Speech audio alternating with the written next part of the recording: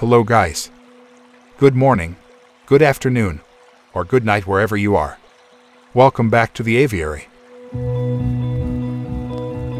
Previously, in the early episode, we released White Rumped Shama on the aviary.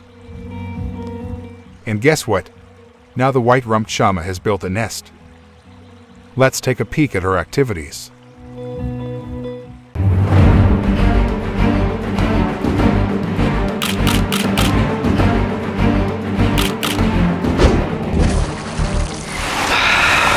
It's the aviary.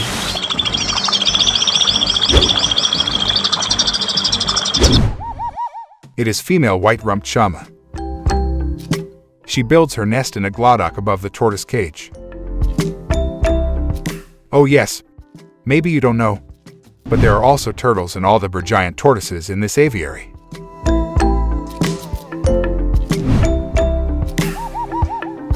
The female bird begins to gather materials to build her nest. Look how passionate she is in carrying out this task. Maybe she can't wait to lay eggs soon.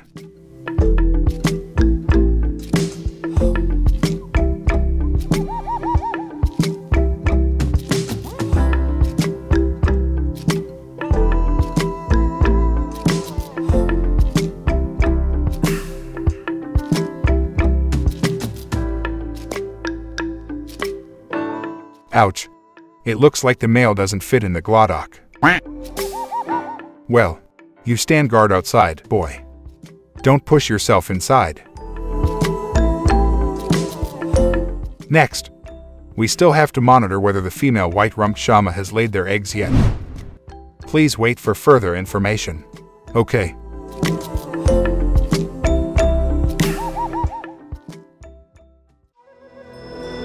A few days later, drizzling came down to wet the aviary. But Irfan decided to take a walk in the aviary, checking what the birds were up to on a rainy day. So, let's go with Irfan for a while to monitor the activities of the birds.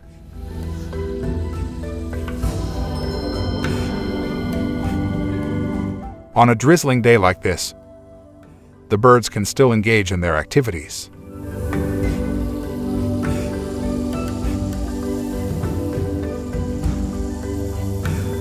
Unlike the case, they will hide in the shade if it rains heavily.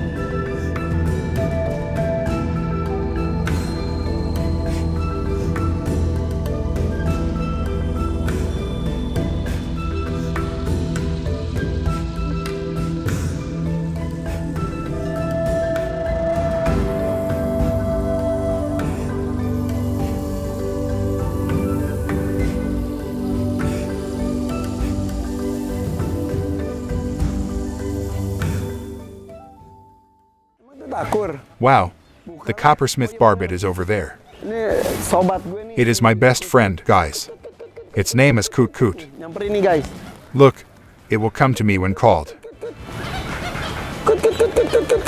Tuh. Nih si Good Good ini tuh. It does like to come over to me, Nyamperin tapi bukan buat. but not ask for food or anything. Nyamperin aja dia. It just wanted to come to me. Have a look. Hmm, kehujanan kamu ya. It was wet from the rain. By the way, let me introduce you to Jenny. He is in charge of handling several animals in the aviary, one of which is sulcata tortoises. These tortoises always gather and seek a warm place when it rains. Unlike the Aldabra giant tortoises, which use the moments of rain to soak. Like this. Terendam ke sini si air terjun. There is also a waterfall here which we can turn on and off. Now, this waterfall is in an off state. It's fun, isn't it? Walking around in the aviary when it's raining. So, if you want to feel the peaceful atmosphere of the aviary when it rains, just come here during the rainy season. Hopefully, it doesn't rain heavily. That's it for this episode. Thanks for watching, and I hope this video can be helpful for you. See you in the next episode.